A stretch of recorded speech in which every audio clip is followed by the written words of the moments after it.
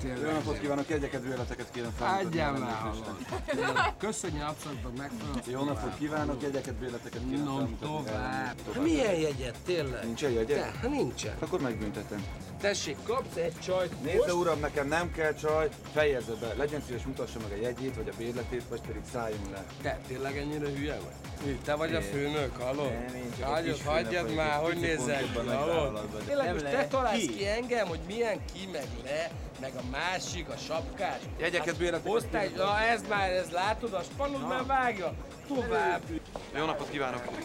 Ezt el, kéne felmutatni Hát ez ellenőrzésre. ne állítsad már magad, tényleg, most engem találsz meg már megint.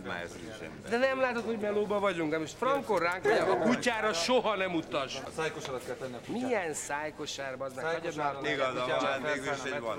Kutya, angol ügyeink vannak, ez egy nemzetközi sztori, hagyjad már, tényleg, fogd már meg ezt.